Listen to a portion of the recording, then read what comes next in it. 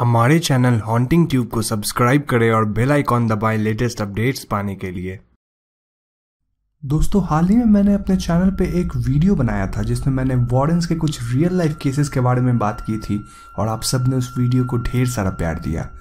उस वीडियो के कमेंट्स में आप में से कई लोग मुझसे एक खास मूवी की रियल स्टोरी को बताने के लिए बोल रहे थे और उस मूवी का नाम है द हॉन्टिंग इन कनेक्टिकट तो आज इस वीडियो में मैं आप सबको द हॉन्टिंग इन कनेक्टिकट से जुड़ी सारी सच्ची घटनाएँ बताऊँगा, जिसे जानकर आप हैरान रह जाएँगे। मैं आपको सजेस्ट करूँगा कि आप इस वीडियो को अंत तक देखें, क्योंकि इस वीडियो के लास्ट में मैं आपको इस टॉपिक से जुड़ी कुछ ऐसी कॉन्ट्रोवर्सीज के बारे में बताऊँगा, जिसमें वॉरेंस का नाम काफ़ी बदनाम हुआ था। इसके साथ, इस वीडियो में कुछ बहुत ही स्ट्रॉन्ग शब्द और इमोशंस का उपयोग किया गया है। तो अगर आप ऐसी चीज़ों से डिस्टर्ब हो जाते हैं तो आप इस वीडियो को मत देखें।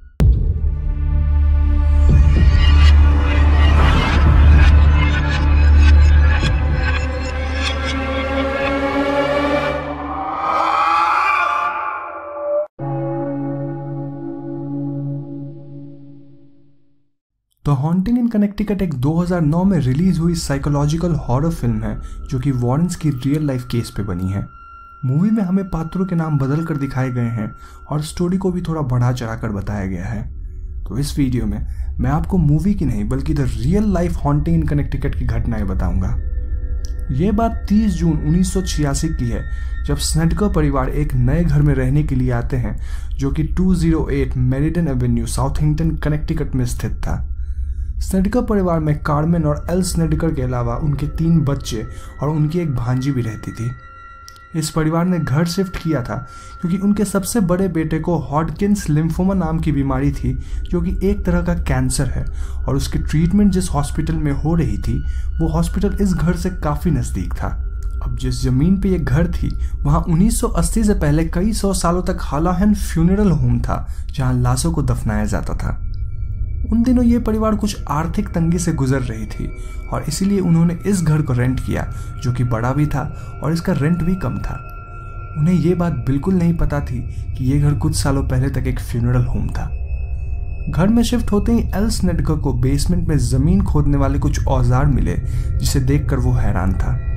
ये वही औज़ार थे जिसकी मदद से पहले लाशों को इसी बेसमेंट में दफनाया जाता था।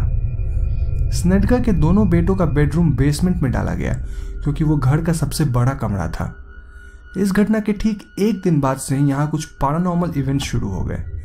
घर में रखी कुछ चीज़ें अपने आप गायब हो जा रही थी, और बच्चों का कहना था कि उन्हें घर में अक्सर कुछ अनजान लोग घूमते हुए दिखते हैं। इसके अलावा स्नेटका परिवार का सबसे बड़ा बेटा फिलिप अब कुछ अजीबोगरीब हरकतें करने लग गया था। वो बार बार बोलता था कि उसे कुछ इविल स्पिरिट्स घर में दिखाई देते हैं और वो लोग उसे कुछ गंदी बातें बोलते हैं। कुछ ही समय में मानो फिलिप की जैसे पर्सनालिटी ही चेंज हो गई थी और वो हमेशा बहुत ही गुस्से में रहता था। उसने कुछ पोएम्स लिखना शुरू कर दिया, जिसमें वो मुर्दों के साथ शारीरिक संबंध बनाने की बात करता था। ये सब बहुत ही डिस्टर्बिंग था और हद तो तब हो गई जब एक दिन फिलिप ने अपनी कज़न टैमी पे हमला बोल दिया और वो उसके साथ ज़बरदस्ती करने की कोशिश किया। इस घटना के बाद, एलन और कार्मेन स्नेडकर ने फिलिप को अस्पताल भेज दिया और उन्होंने डॉक्टर से पूछा कि क्या ये सब उसके रेडियोलॉजिकल इलाज के साइड इफेक्ट्स हैं? डॉक्टर ने साफ़ बताया कि इस इलाज का कोई साइड इफेक्ट्स नहीं होता है और फिलिप को शायद मल्टीपल पर्सनैलिटी डिसऑर्डर हुआ है। इसके बाद, फिलिप चौबीसों घंटे अस्पताल में रहता था और कई लोग उसे पागल भी समझने लगे थे। इस घटना के ठीक एक दिन बाद कार्मेन को मॉप वाटर बिल्कुल लाल रंग का दिखा। मानो जैसे वो पानी नहीं, बल्कि खून हो। इसके साथ उस घर में किसी लाश के सड़ जाने की बदबू भी आने लगी। एलन स्नेडकर भी थोड़ी अजीब सी बर्ताव करने लगा था, और उसने घर के सारे लाइट बल्ब्स को ये बोलकर निकाल दिया कि उनका बिजली बिल बहुत ज़्यादा आ रहा है, और उसको कम करने के लिए अब सभी लोग अंधेरे में रहेंगे। स्नेडकर परिवार को इस घर में कुछ पुराने तस्वीर और कुछ वस्तु मिली, जो कि शायद यहाँ दफनाए गए लोगों की थी। इसके अलावा, कई बार घर में कुछ सामान अपने आप हिल जाती थी और एक बार तो घर में टंगा पर्दा टैमी को गला घोट कर उसे मारने की भी कोशिश किया। कार्मेन का कहना था कि घर में कभी कभी उन्हें ऐसा महसूस होता था, मानो कोई उनके साथ ज़बरदस्ती कर रहा हो। ये कोई अदृश्य एंटिटी थी जो कि ऐसा करती थी और इसको टैमी और एलन ने भी महसूस किया। कार्मेन का ये तक कहना था कि उसे घर में दो भूत भी दिखाई दिए। एक के काले लंबे बाल थे और उसकी आँखें काली थी और दूसरे भूत की बाल और आँखें वाइट थी और उसने एक टक्सीडो पहन रखा था। इस तरह की घटनाएँ लगातार बढ़ती जा रही थी, इसलिए कार्मेन ने एड और लॉरेन वॉरेंस को कांटेक्ट किया, जो कि फ़ौरन इस घर की तहकीकात के लिए कनेक्टिकट पहुँचे। इनके साथ जॉन हैफिस और कुछ दूसरे पैरानॉर्मल इन्वेस्टिगेटर्स भी थे। ऐसा कहा जाता है कि इन्वेस्टिगेटर्स के घर में आते ही इन प्रेत आत्माओं ने इन पर हमला बोल दिया, जिसके डर से दो इन्वेस्टिगेटर्स फ़ौरन भाग खड़े हुए। कई लोगों को अदृश्य शक्ति ने थप्पड़ मारा और कई लोग ज़मीन पे अपने आप ही गिर पड़े। वॉरेंस ने इस पूरी प्रॉपर्टी की एग्जॉसिज्म करने की सोची और एग्जॉसिज्म के दौरान कुछ बहुत ही डिस्टर्बिंग बातें सामने आई। वॉरेंस के मुताबिक इस फ्यूनरल होम पे पास्ट में किसी एक ताबूत बनाने वाले ने कई लाशों के साथ शारीरिक संबंध बनाया था। इस घटना के कारण उन आत्माओं को मुक्ति नहीं मिली और अब वो इस घर में रहने वाले लोगों के साथ भी सेम बर्ताव करते थे, या फिर उन्हें परेशान करते थे। इस एग्जॉसिज्म की प्रक्रिया कई दिनों तक चली और अंत में ये घर इस आत्माओं की चपेट से बाहर हो गया। वॉरेंस ने इस घर को सुरक्षित करार दिया और सब कुछ मानो ठीक हो चुका था। लेकिन क्या सच में सब कुछ ठीक हुआ? हालाँकि एग्जॉसिज्म के बाद यहाँ कोई भूतिया घटनाएँ नहीं हुई, लेकिन इस केस के पब्लिक होने के कारण हज़ारों विवाद उठे। इस घर में स्नेटकर से पहले रह रहे परिवार ने ऐसी स्टेटमेंट दी कि उनके साथ वहाँ कुछ भी पैरानॉर्मल नहीं हुआ था। यहाँ तक कि बाद में आए लोगों का भी मानना था कि घर एकदम नॉर्मल है और यहाँ कुछ भी पैरानॉर्मल नहीं है। इसके अलावा एक बहुत ही बड़ा खुलासा तब हुआ जब रे कॉटन जो कि इस इंसिडेंट पे किताब लिख रहे थे, उनका बयान सामने आया। इस किताब का नाम था in the dark place with Warrens and the Snedekers और रे का कहना था कि जब वो सच्ची घटनाओं को लिखने के लिए स्नेटकर्स से मिले तो उन सब की स्टोरीज एक दूसरे से अलग थी। यहाँ तक कि पैरानॉर्मल इन्वेस्टिगेटर्स की एग्जॉसिज्म प्रक्रिया वाली कहानी भी बिल्कुल अलग अलग थी। जब रे ने यह बात वॉरेंस को बोली तो एड वॉरेन ने कुछ ऐसा स्टेटमेंट दिया जो कि हैरान कर देने वाला था। रे ने इस बात का खुलासा 27 अप्रैल 1999 में किया और एड वॉरेन की स्टेटमेंट कुछ ऐसी थी। ये पूरी परिवार पागल है।